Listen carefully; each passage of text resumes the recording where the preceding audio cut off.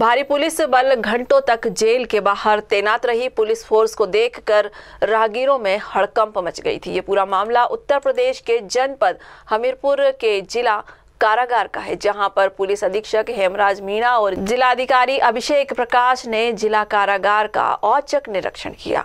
घंटों तक जेल के अंदर जायजा लेते रहे अधिकारी।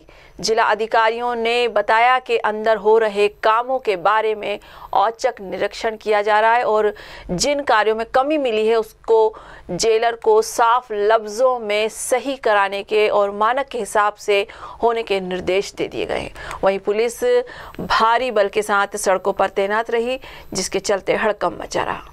निर्देशित किया गया जेल अधीक्षक को और जेलर को कि इसमें सुनिश्चित करेंगे और आगे निरीक्षण के बाद की जो कार्रवाई होगी वो सुनिश्चित की जाएगी। सर क्या कहूँ सूचना मिली थी औचक निरीक्षण का?